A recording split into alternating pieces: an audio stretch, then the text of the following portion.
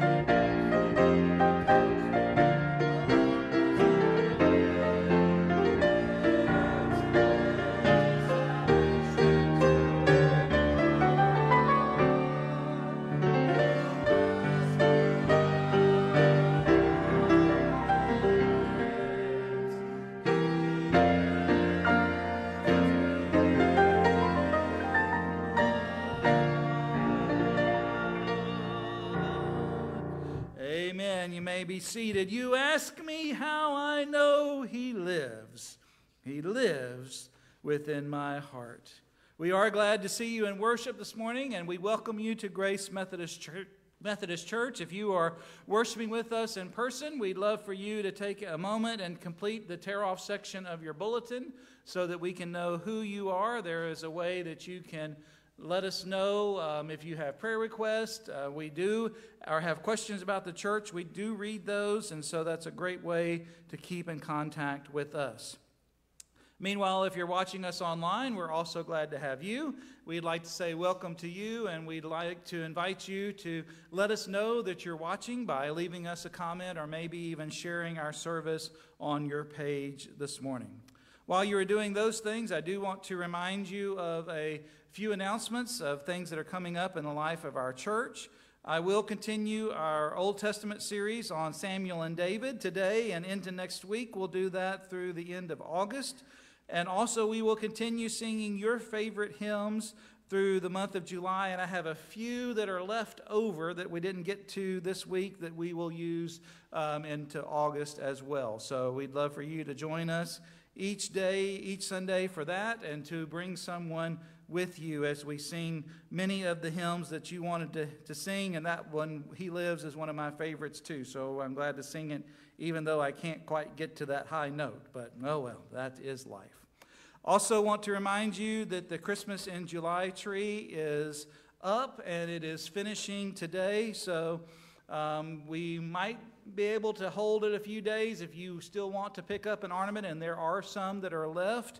And um, so, and, and even so, you can continue to buy those items and take them to those local um, mission projects, those list, local mission partners, or maybe even bring them here, and we will get them there so that um, those are many of those are ongoing needs for them, not only just during the summertime, but throughout the year. So, so we'd love for you to be a part of that and to make a difference in our local community. So that's some of the things that are happening in the in our local church. Are there others that we need to mention this morning? All right, then let us pray together. Oh Lord, we are so grateful for your presence with us. We are so grateful that this is the Lord's Day, the day that we gather in your house to remember and celebrate the life, death, and resurrection of our Son, your Son, our Savior Jesus Christ, and the hope that He gives us in this world and in the world that is to come. And so, Lord, as we gather to worship, Lord, we pray that you would help us to set the worries and concerns of the week that was behind us away, and Lord, to, to put them away, but, and also the, the worries of the week that is yet to come. All of those things that are on our hearts and minds, Lord, we pray that we would turn our eyes upon Jesus to worship you in truth and in spirit this day. Lord, we invite your Holy Spirit into this place to lead us and guide us. And Lord, we pray that when we leave, that we would be a little bit different than when we came. Lord, most of all, we are grateful for your Son, our Savior, Jesus Christ. And it's all these things we pray in his name. Amen. Our responsive reading this morning comes from Psalm chapter 14. It is a psalm of David according to the scripture, so it's appropriate that we'll be reading it this morning. Would you please stand as we um, responsively read this psalm? I'll begin and then invite you to join with me. Fools say in their hearts, There is no God. They are corrupt. They do abominable deeds. There is none that does good. The Lord looks down from heaven on all people to see if there are any that are wise, who seek after God. They have all gone astray. They are all alike perverse. There is none that does good. No, not one. Have they, have they no knowledge? The evildoers who eat up my people as they eat bread, and do not call upon the Lord. There they shall be in great terror, for God is with the generation of the righteous. You would confound the plans of the poor, but the Lord is their refuge. Oh, that deliverance for Israel would come from Zion. When the Lord restores their fortunes, Jacob shall rejoice and Israel shall be glad. Amen.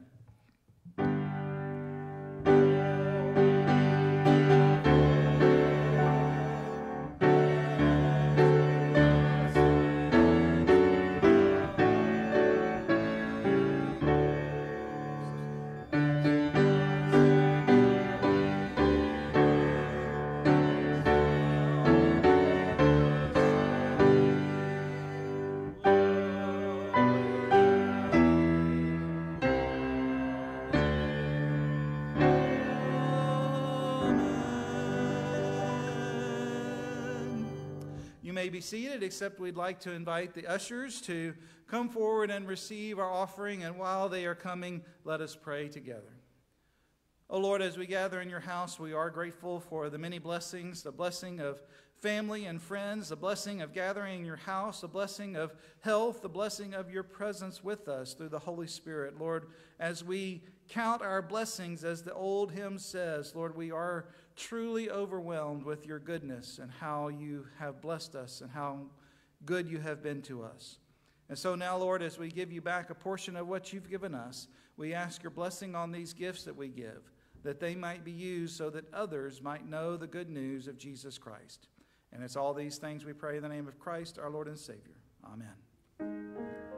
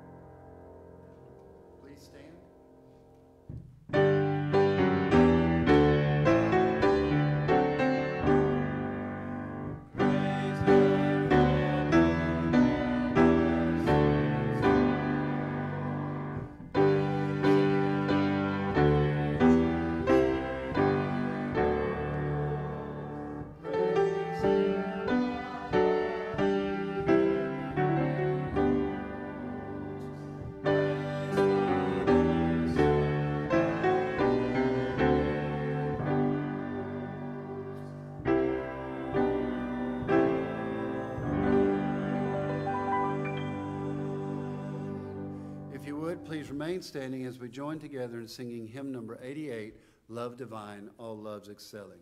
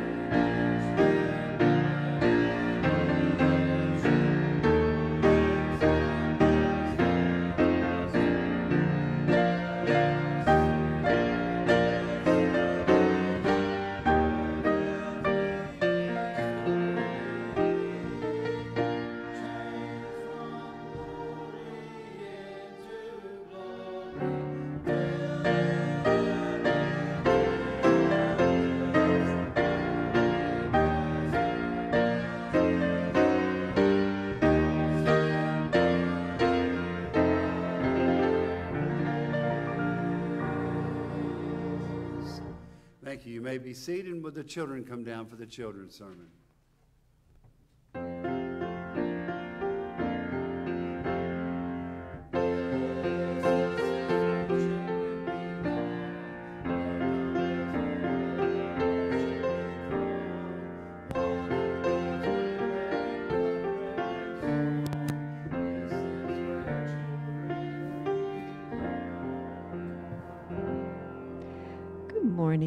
Madison and Simon. How are y'all today? Um, there's going to be a picture come up on the screen. I'll see if you can guess who this is. Who is that? Do you recognize who that is? Does anybody recognize who that is? Somebody say, say, say, say. What's his name? Simba. Simba. Simba's a little lion cub. Have you ever seen the movie Lion King before? He is in a movie called Lion King, and Simba was the little son of the big king lion Mufasa. And he knew when he grew up, he was going to be king of the lions too. And he sang a song about, I just can't wait to be king. You can tell I love this movie. My girls watched this one a lot growing up. So Simba thought it was going to be really super cool to be king of all the jungle, to be king of everything. And he just thought that would be the greatest thing. Everybody would bow down to him and do whatever he said, and he would have his way all the time. And that sounds like that'd be a pretty fun thing to do, huh? To have your way in everything all the time. Does she get her way all the time? No, just a little bit, just a little bit of the way sometimes. So you don't always get everything you want, but Simba thought that's what being a king meant. Well, in the Bible, David has been growing up, and David's going to become king one day. And he thought it was going to be pretty cool. And it is pretty cool to be king, I would think. But you don't always get to have all your own way. You've got to have a lot of responsibility when you're the king. And you got to grow up and you got to make decisions about wars and about people fighting and all these big important things. And everything's depending on you to do it right. So David was probably excited to become king, but I bet he was kind of nervous about it too. But David knew one thing that I bet Simba doesn't have a clue about. He knew that God was with him. And when you have a big problem and a big decision to make, you go, go to God and ask Him. I'm sorry, the face she is making over here is hilarious. go to God with your problems, and He will help you make the right decision, whether you're going to be king or queen of anything or not. Always remember, God will be with you. So let's bow our heads and pray. Father God, we thank you for loving us, but help us to always remember to come to you with our problems and the hard decisions we have in our life. God, we love you so much. In Jesus' name we pray. Amen.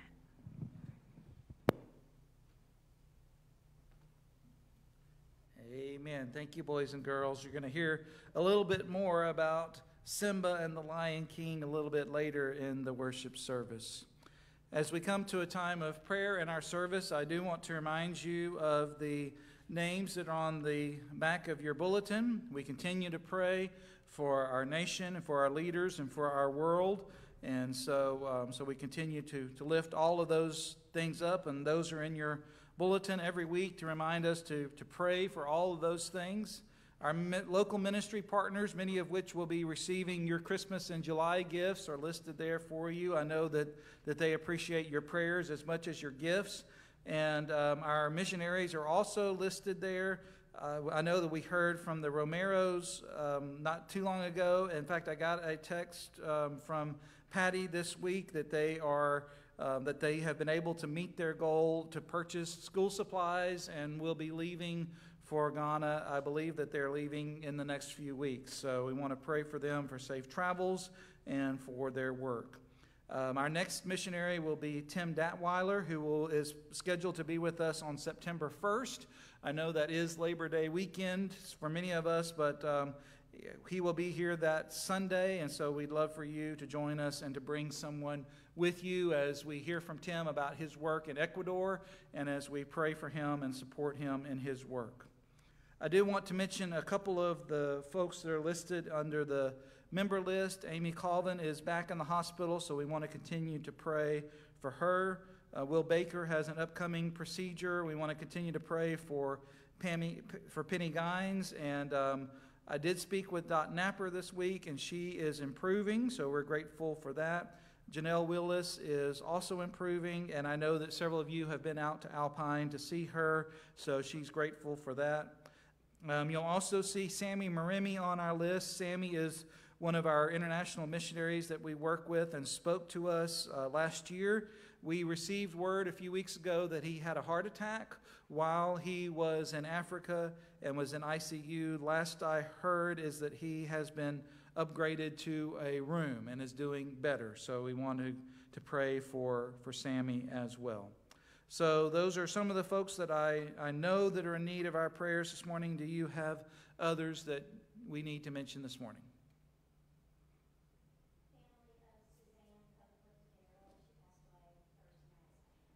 Okay, the family of Suzanne Copeland Carroll. Continue to keep my dad, Gary Teague, in y'all's prayers. For Gary Teague. Okay. Others this morning? All right. Then let us join together in prayer.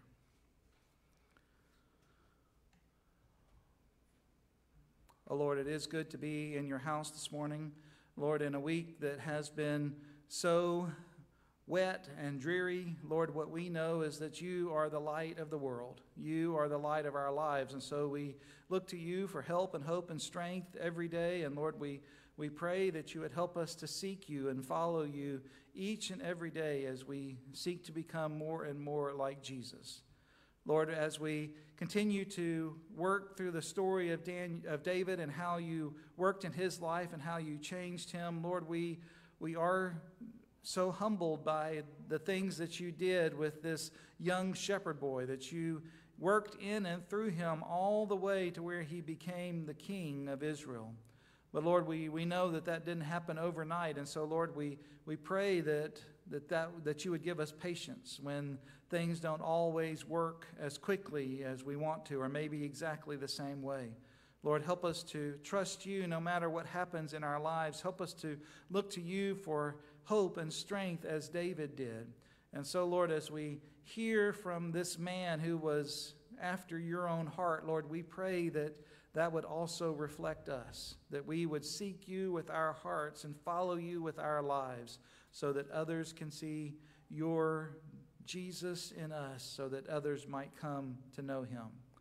Lord, we are also are mindful for the needs that are all around us. We do continue to pray for the brokenness of our world, of our country, and for our leaders. And Lord, we, we ask that you would continue to work in and through through them and through us. And Lord, when we are tempted to despair about the state of our of our world, maybe our country, and maybe in so many different ways, Lord, we pray that you would continue to help us to trust and have faith.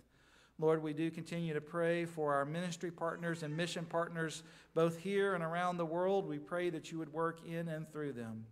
Lord, for so many that are recovering from a procedure, maybe uh, facing a procedure, maybe just under the weather, Lord, we continue to lift them up and pray for your healing touch to be with them.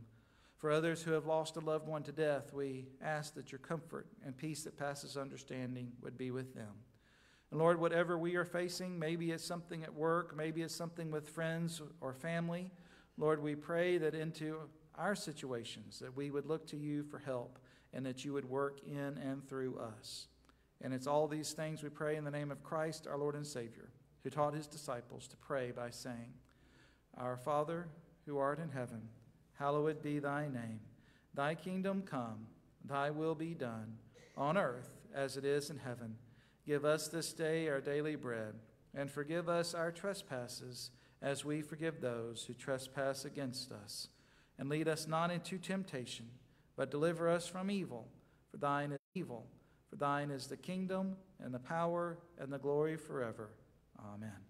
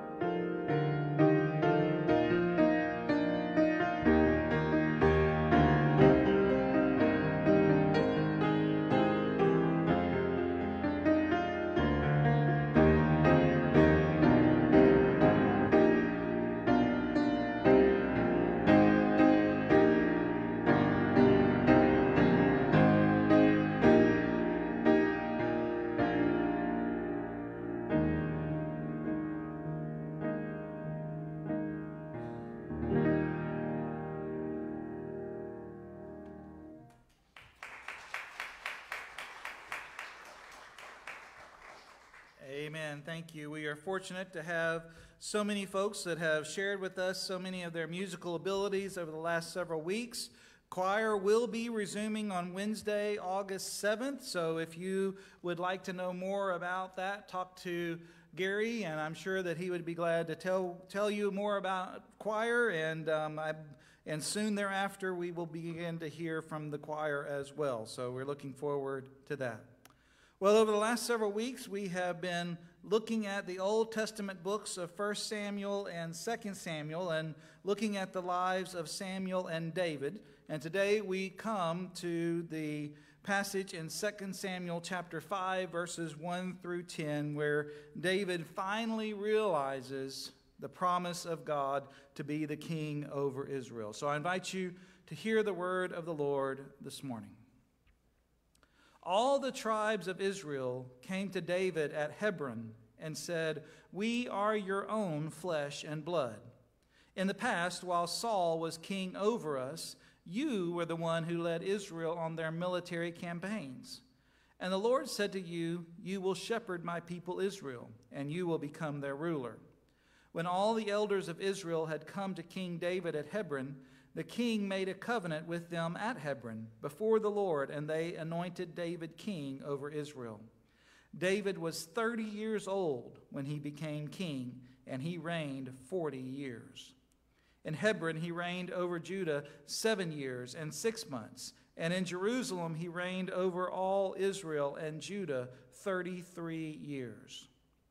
The king and his men marched to Jerusalem to attack the Jebusites who lived there. The Jebusites said to David, You will not get in here. Even the blind and the lame can ward you off. They thought, David cannot get in here. Nevertheless, David captured the fortress of Zion, which is the city of David. On that day, David had said, Anyone who conquers the Jebusites will have to use the water shaft to reach those lame and blind who are David's enemies.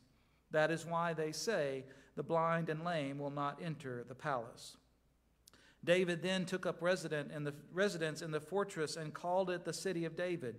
He built up the area around it from the terraces inward. And he became more and more powerful because the Lord God Almighty was with him. This is the word of God for the people of God. Thanks be to God. Amen. Well, when we lived in South Louisiana, Jana and I went to see Lion King the musical at the Mahalia Jackson Theater in New Orleans. Now, I don't know exactly how this happened, but for some reason, we ended up sitting on the second row of the theater for the show. We got a crick in the neck, but we also got an opportunity to see the musical up close and personal, that we could see the, the sweat on the performers' faces and we could see the movement of all of the apparatus and the things that they used in the show. So that part of it was great.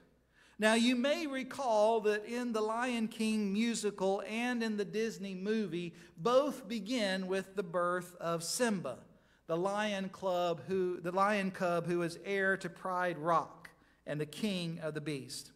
Now, much of the first part of the show and the movie is about young Simba's growing up and preparing to be the king one day. But Simba is impatient, and as we talked about with the boys and girls, he sings a song that is titled, I Just Can't Wait to Be King. Here's a part of how it goes I'm gonna be the main, M A N E, event, like no king was before. I'm brushing up on looking down. I'm working on my roar. I'm going to be a mighty king, so enemies beware. Oh, I just can't wait to be king. No one saying, do this. No one saying, stop that. No one saying, see here. Free to run around all day. Free to do it all my way. I just can't wait to be king. And while Simba couldn't wait to be king, it is obvious to those watching the show that he is nowhere near ready.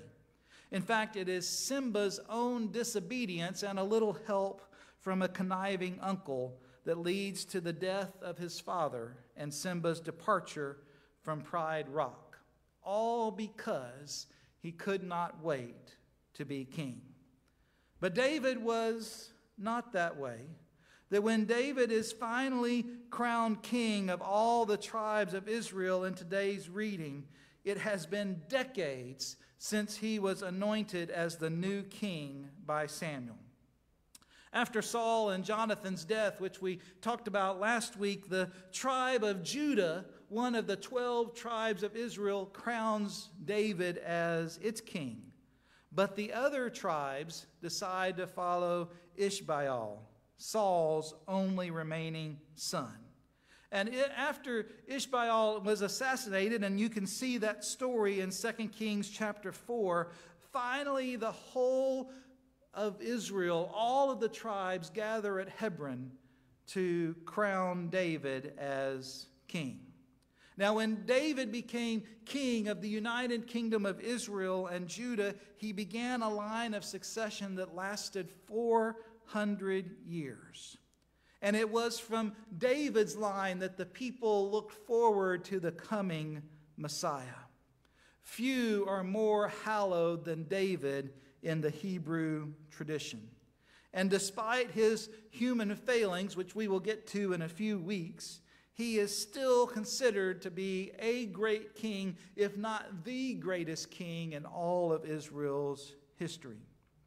Now, Christians, we have high regard for David too as one of the main characters in the Old Testament and the author of many of the Psalms, including the one that we used as our responsive reading this morning.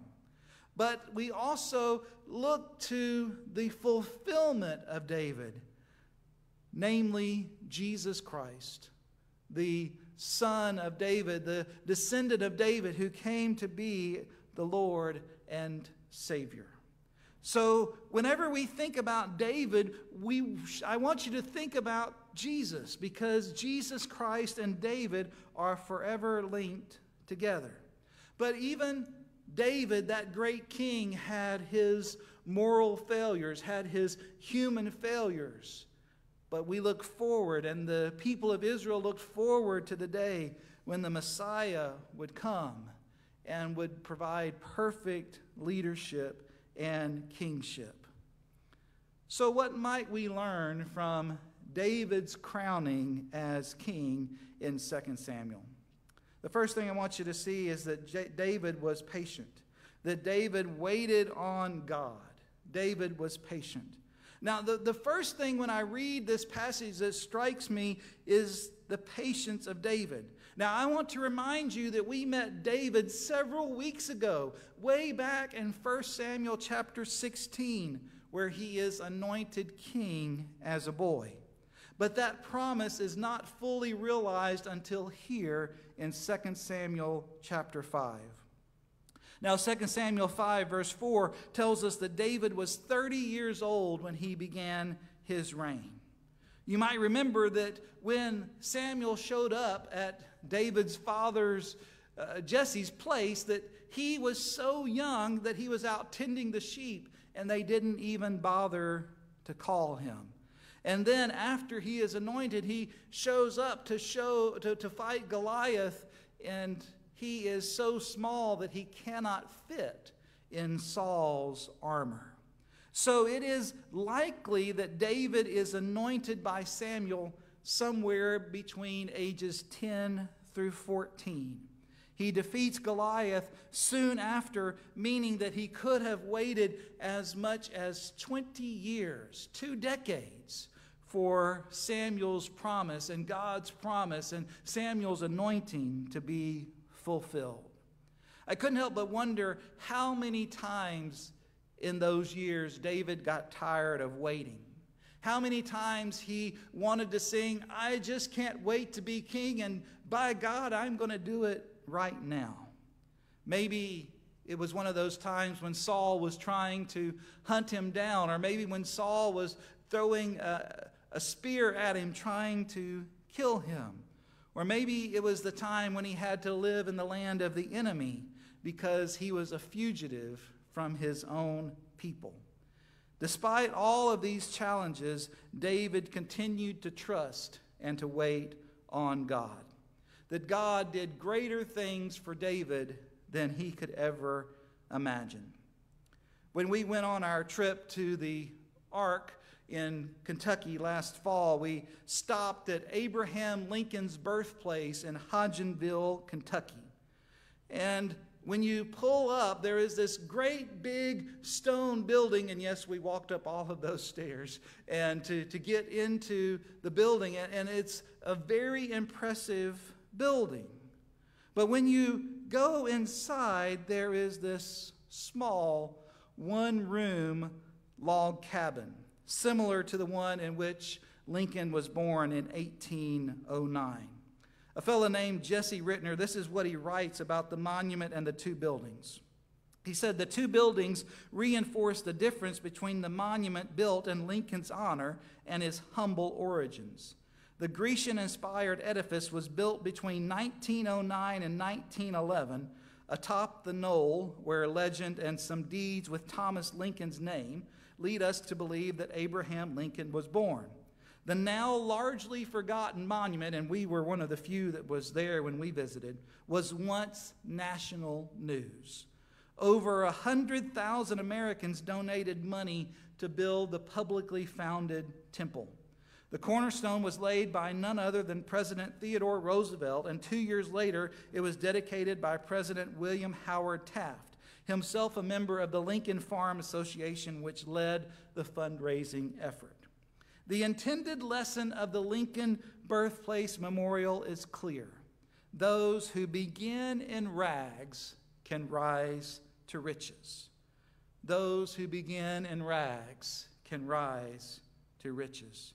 And this is only one of those stories that we could tell. But David is one of those stories. Think about that. The boy that no one even bothered to call becomes king of the entire country. And not only king, but one of the greatest kings. So, this one who once held the shepherd's staff is now holding the scepter as the king. In later years, the nation went to pieces and became occupied by a succession of conquerors. And they dreamed of a day when another David might rise and make them a nation once again. So we wonder well, why was David so successful? What made him different than everybody else? 2 Samuel 5, verse 10 says this And David became greater and greater, for the Lord, the God of hosts, was with him. So David's success was not a result of David's personality and David's talent, but it was a result of God's blessing. This comment, which concludes today's reading, it tells us something about the way Israel thought about success. That God rewards piety. That position and the trappings of success are equated with blessing. Human proficiency reflects God's power. That's how the ancient people thought about the attainment of God. Now, we know that that is not always true, but we even see this in the New Testament, right? That Jesus and his disciples are walking along and they see a man born blind, and the question is, well, who sinned, this man or his parents, that he was born blind? Jesus says, neither one. This happened so that the glory of God could be shown. We know that there are sometimes when bad things happen to good people. And there are sometimes when good things happen to people that are not so good. But what David tells us and teaches us that if we follow God, if we are obedient to God, if we allow God to work in our lives, we will be blessed. David was a good king because he was patient and he followed God. The next thing I want you to see is that David trusted in God. David trusted in God. So when David becomes king, he wants to conquer Jerusalem. And the Israelites lived nearby, but they had never conquered Jerusalem. A group of people called the Jebusites occupied the city. And you might remember that when the nation of Israel moves into the promised land, that they kick out several of the groups of people. You can read that story in the book of Joshua. They kicked out the Amalekites and the Canaanites and many other people groups in the area. But the Jebusites had managed to hold on to the city of Jerusalem. It was well fortified, located on a mountain, as, and as one who has visited Jerusalem, I can tell you that I don't think there is a flat spot in the entire place. It is built on a city, and you're constantly going up and down.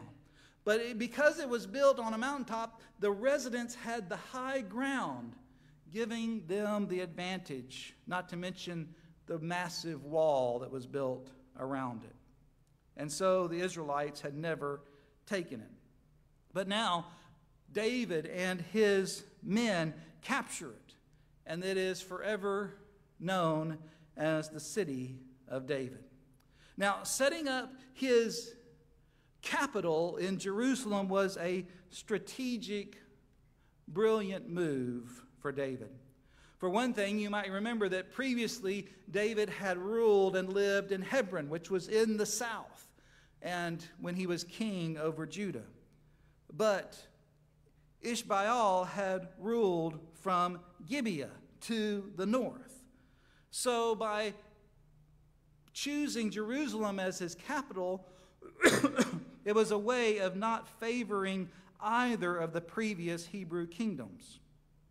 And it was kind of neutral ground because it was a city in which the Israelites had never lived until that point because they had not conquered it.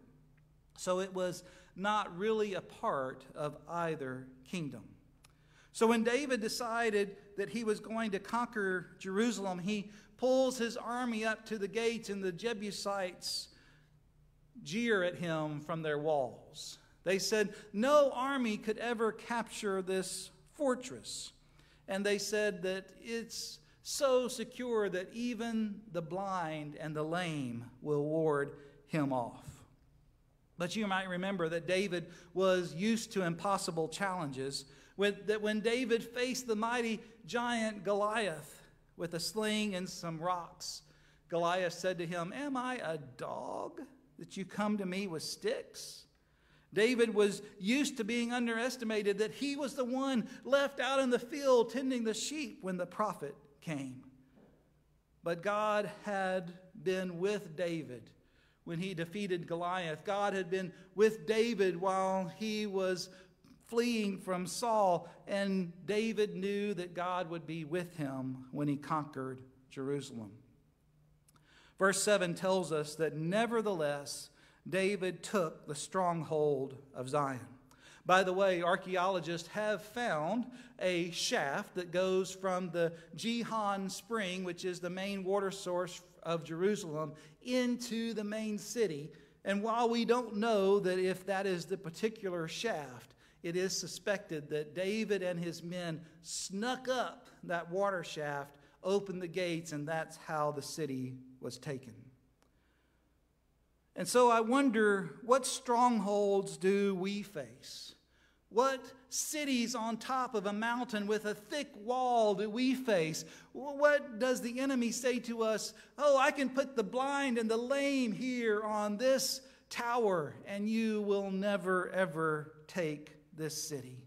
What insurmountable obstacles lay in our way to accomplishing the will and call of God on our life?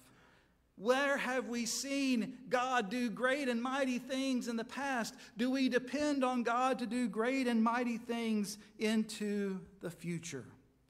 When we are in the center of God's will, He uses His power to help us overcome strongholds and obstacles. Now, I have to tell you, that doesn't mean that it will always be easy that David still had to take on the Jebusites. He still had to conquer the city. That when he pulled up with his army, they didn't just throw away their swords and spears and say, Hey, David, come on in. They put up a fight, But David trusted God, and he was able to do great things. So can we when we trust God. The last thing I want you to see is that David depended on God's power. David depended on God's power. All too often, we equate power with political clout and military might, especially maybe in this election season where we have all of these voices that are calling for us to follow this person or to vote for this person. Peter Marshall writes a story about the keeper of the spring. And the story goes that there was a man living high in the Alps above a certain Austrian town. He had been hired by the town council to clear away the debris from the pools of water that fed from the mountain down into the village. The man did his work so well that the village prospered. Graceful swans floated in the spring in the village down below. The surrounding countryside was irrigated and things grew like crazy, so everyone had plenty of food. Mills used the water for power. Restaurants flourished because of the clean water and for townspeople and for a growing number of tourists who came to visit the city. Well, years and years went by, and one evening at the town council, someone questioned the sum of money being paid to the keeper of the spring. No one seemed to know who he was, or even if he was still on the job high up in the mountains. And so, before the evening was over, the council decided to save that money and dispense with the services of the keeper of the spring. Well, weeks went by and nothing seemed to change. But once autumn came, the trees began to shed their leaves. Branches broke off and fell into the pools high up into the mountains. Down below, the villagers began to notice that the water had become darker in color. A foul odor, a foul odor appeared. The swans flew away to another place. The tourists had left, and some of the townspeople began to get sick from drinking the water. When the town council reassembled, they realized to their chagrin that they had made a costly mistake. And so they found the old keeper of the springs and they hired him back on the spot. Within a few weeks, the spring cleared up and life returned to this alpine village as they had known it before. You see, the story of the keeper of the spring, it comes closer to Jesus's and, and David's concept of authority. That, that you might remember that David was a shepherd before he was king, that David practiced on sheep before he led people. He knew how to lead sheep, he knew how to guide people. Jesus recast the image of kingship into the suffering servant where he gives up his very life for those he came to serve. To exercise real power in Jesus' kingdom and David's kingdom is to serve others. Such power is greater than political clout or military might.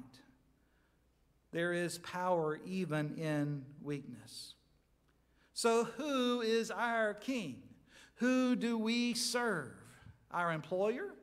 Our political party, our favorite candidate? What if we were as passionate about Jesus and about what God has done in our life as we are about our favorite activity? Maybe our favorite football team or even our political candidate. Gail Ricciuti was requested to give the commencement address, address to graduates at Princeton Seminary. And her speech that she gave was titled To Live as a Sojourner. Instead of, in, in addition to degrees, she bestowed on them backpacks. She was concerned that they might be carrying too much luggage with them as they left the seminary to serve Jesus. She said, in contrast to suitcases, backpacks were light, more suitable for Christ sojourners. This is what she asked Have you ever tried to hug someone with suitcases in your hands? With the heavy baggage of a densely packed suitcase, you might give those you are called to love bruises, or worse, lame them for life. But a backpack is lighter and leaves your hands free to serve and help others. It's good advice not only for graduating theological students, but for all of us. We are called to travel lightly. We are called to remember that this world is not our home. We are on a journey of faith. None of us has arrived there yet. When we depart this world, we will take nothing with us. I have never done a funeral with a U haul. Instead, every funeral I have done has been with a hearse or maybe with an urn. We cannot live in the past, no matter how nostalgic that moment might be for us. We cannot wish for what used to be. Our present task is daily surrender, a constant recommitment of our lives to follow Jesus. You see, I, I can't imagine that David knew exactly where following God was going to lead him, but it led him to be king. It led him to have a great legacy and history. I can't help but wonder if maybe some of us who come to worship today are overburdened today. Maybe we feel like we're carrying those suitcases with us. Do those other commitments and concerns, as legitimate as they are, do they crowd out our commitment to Christ? Are our hands so full of other things that we don't have them free to serve and help others in the name of Jesus? Are we holding back something from our Lord that should be surrendered? Andrew Greeley is a Roman Catholic priest, sociologist, prolific writer, and best selling novelist. And one day he returned to his former parish in suburban Chicago for a celebration. And at the close of his message, he told the story, the legend, about King Fergus of the kingdom of Kerry in the west of Ireland. He says that Fergus was a good and wise king, but eventually he grew old. Realizing he was soon to die, he summoned all his loved ones around to bid them farewell. He loved his people and he loved the green hills and the blue sky and the golden fields and silver lakes of his kingdom of Kerry. So before he commended his soul to God, he scooped up a clump of the thick, rich Kerry turf in his right hand. Well, soon the king arrived at the gates, the pearly gates facing St. Peter. Introducing himself, he asked to enter the city, all the time clutching the clump of Kerry turf in his hand. Peter punched the computer and learned that the king indeed had a good record, and he was ready to let the king in when he spied his clutched hand.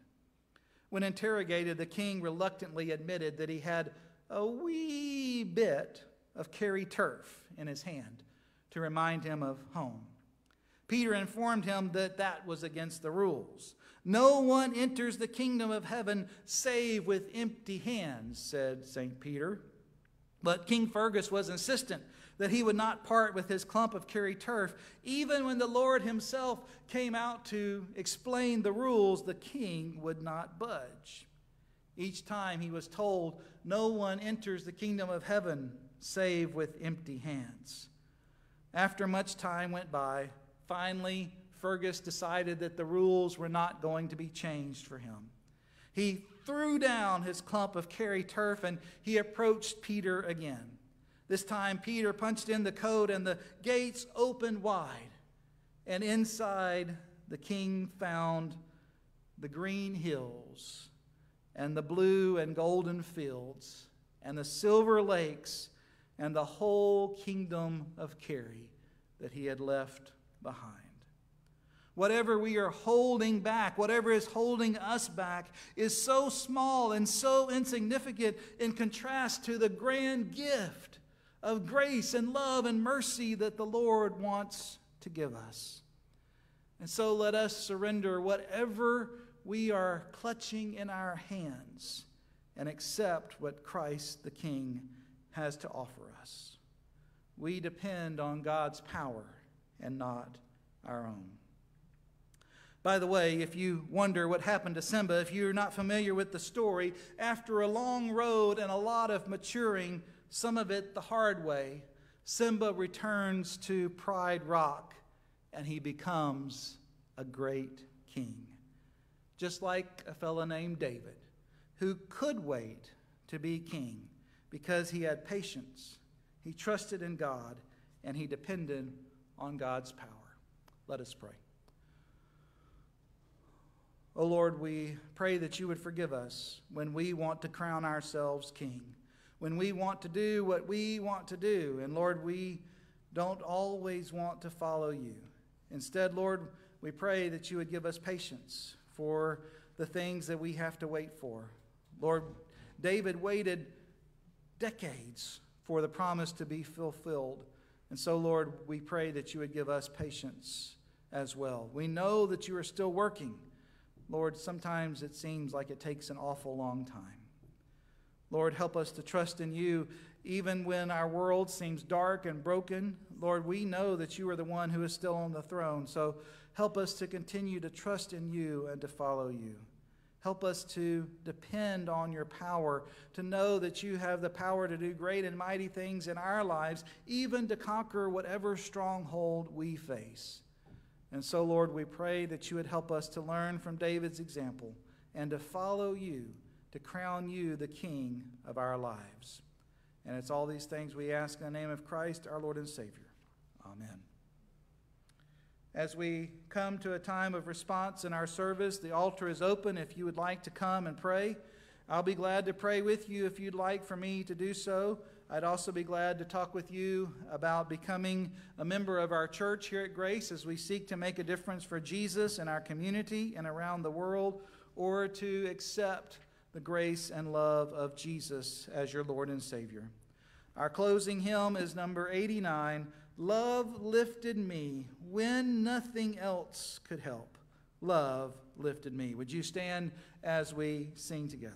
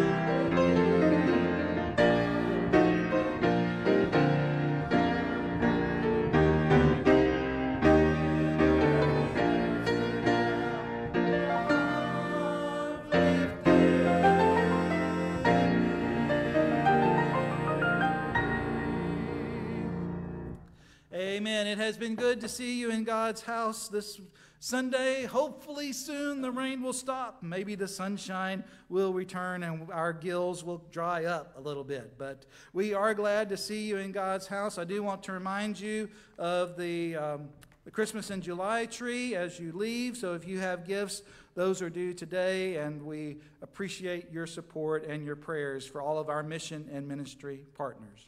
And so let us close in prayer. Lord, we are so grateful that you are the King. Lord, forgive us when we want to be king, when we want what we want and we want it right now. Instead, Lord, we pray that you would give us patience, that you would help us to trust in you, that you would help us to depend upon your power and your strength.